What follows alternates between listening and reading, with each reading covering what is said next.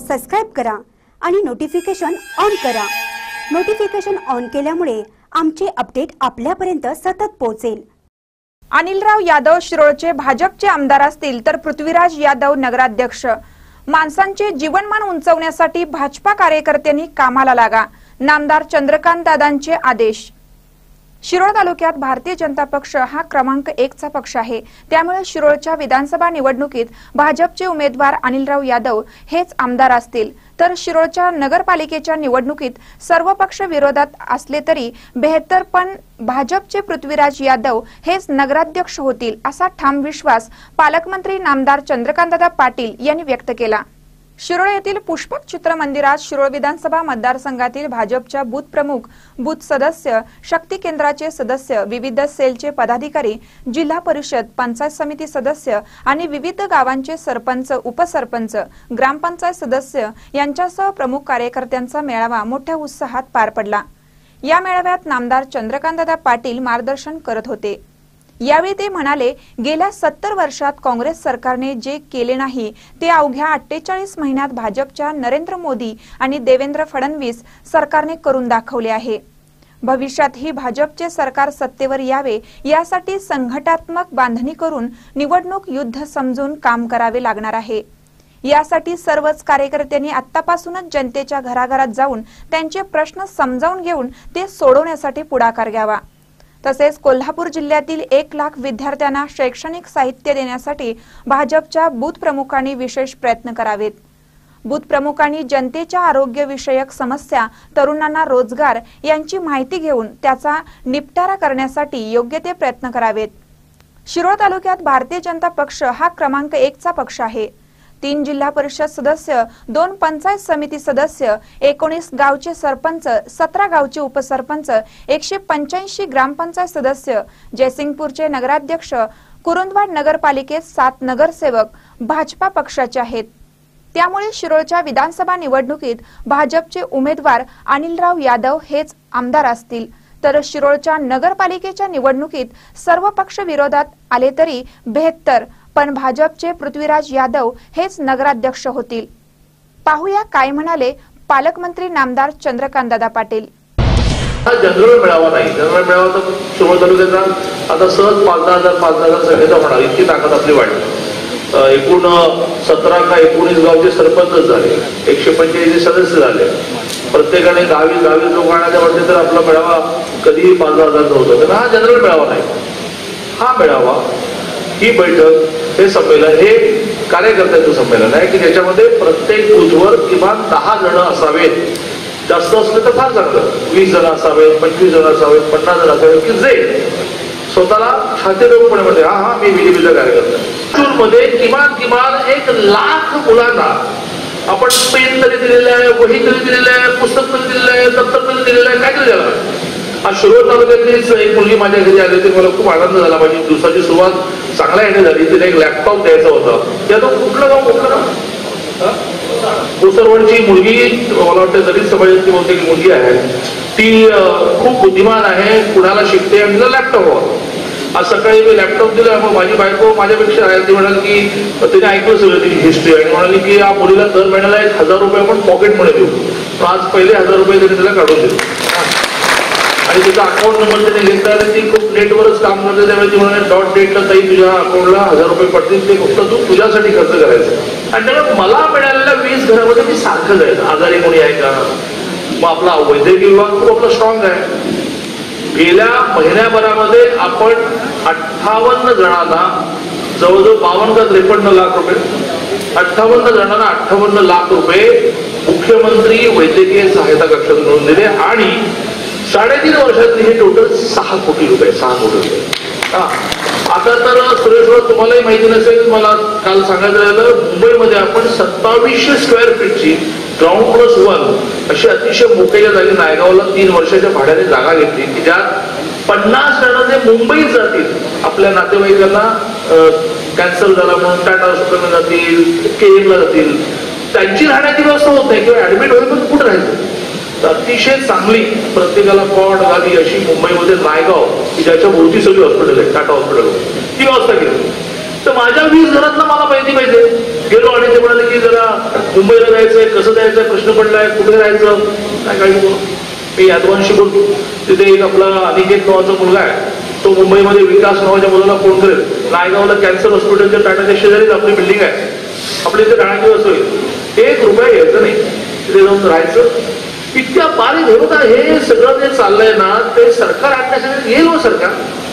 एकोणीसला सरकार नाही आले तरी राष्ट्रपती तर पाच वर्ष यांच्या मांडीवर बसला राष्ट्रपतीला काढता येत बीजेपीचा खमक्यात कोविंद नावाचा राष्ट्रपती यांच्या बसला उपराष्ट्रपती बसला दहा वीस राज दहा बारा राज्यात राज- सरकार असतात ठीक काय काळजी करू हे सगळं चाललंय सरकार आणण्यावर सुद्धा सामान्य माणसाने एकदा सुद्धा सामान्य माणसाला सुखी करायचं.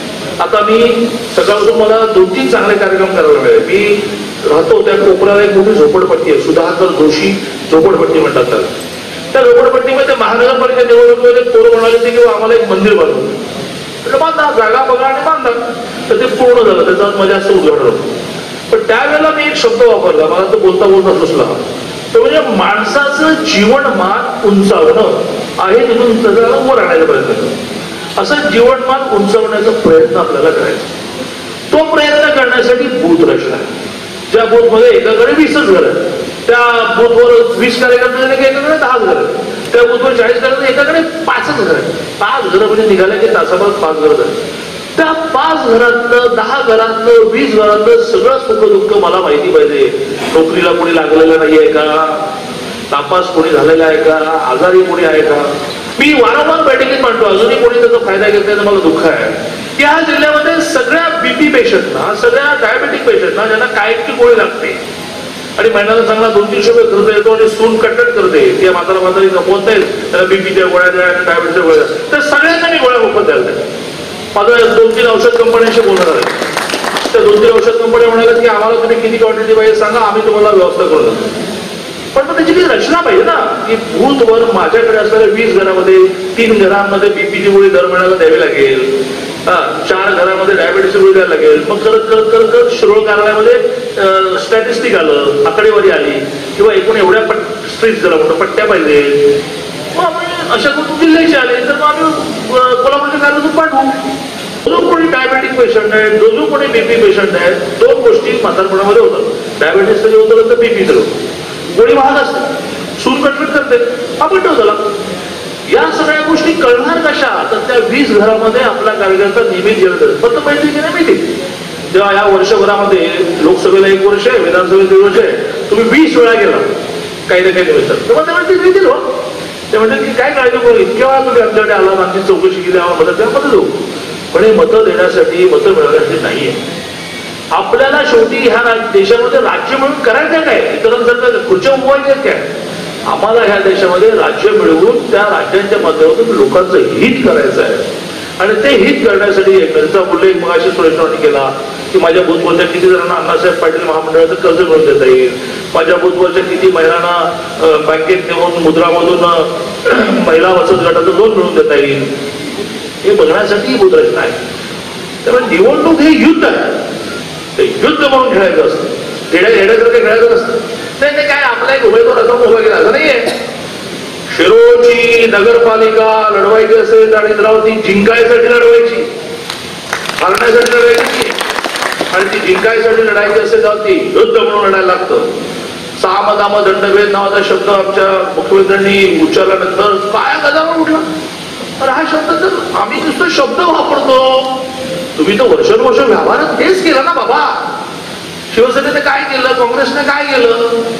फार महत्वाला घेतलं तुम्ही. ही तुमची लोकशाही आहे. आम्ही तसं करत नाही आणि त्यामुळे अनिलराव कोणाला उमेदवार करायचा सुरेश बोलून ठरवा उमेदवार ठरवा. आणि सतराची नगरपालिका तुमची. सतरापैकी पंधरा चौदा सगळेच आपले कधी येत नसतात. जरा विरोधक पाहिजे त्याशिवाय तुम्ही नीट राहत नाही. म्हणून दोन चार जण त्यांना द्या. हा. पण गारगोटीच असं एकूण पंधरा पैकी बारा आपल्या आहेत. आणि नगराध्यक्ष सरपंच आपला. अशी मेजॉरिटी पाहिजे. ते चारशे खासदार आणल्याशिवाय आपल्याला या देशामध्ये स्थिर सरकार ठेवता येणार नाही. यावेळेला सुद्धा स्थिर का मोदी? अटल बिहारी वाजपेयी स्थिर नव्हते पण सव्वीस पक्ष घेऊन ते सरकार झालं एक क्रमांकात झालं गोवा केंद्रीय कायदा मंत्री असं झालं सारखे ते अटल गप्पा खेळायचे नाही नाही हे नाही करू शकते. हम निघले की.